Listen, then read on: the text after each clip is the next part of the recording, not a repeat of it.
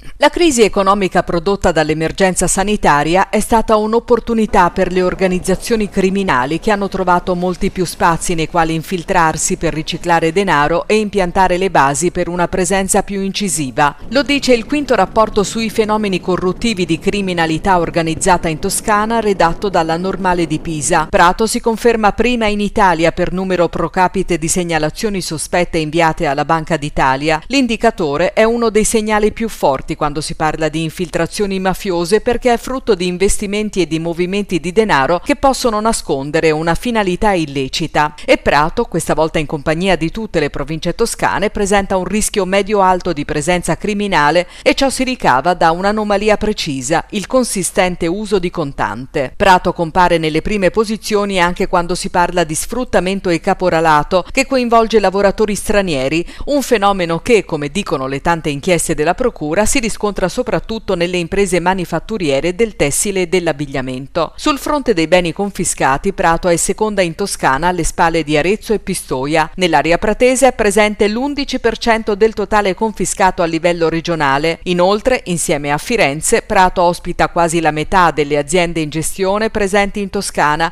e insieme ad Arezzo quasi un quarto degli immobili che in tutta la regione sono stati sottratti alla criminalità. Capitolo corruzione nell'ambito della pubblica amministrazione amministrazione delle nomine, degli acquisti straordinari e degli appalti. Il primo posto va a Firenze, ma il fenomeno ha contraddistinto anche Prato. Secondo il rapporto della Normale di Pisa, il settore principale della corruzione è l'appalto edile e l'attore principale è il dipendente pubblico, un dato questo che si rileva sia su scala regionale che su scala nazionale. Quanto alla proiezione di organizzazioni criminali, la matrice camorristica è la più presente, seguita da andrangheta e mafia. Se si parla di criminalità comunità straniera, la matrice albanese è la più attiva, seguita da quella cinese e da quella nigeriana.